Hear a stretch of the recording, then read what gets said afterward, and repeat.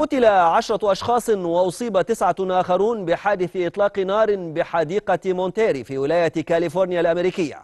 وأظهرت لقطات مصورة على وسائل التواصل الاجتماعي الشرطة ووحدات الإطفاء وهي تدخل المنطقة في شارع جارفي.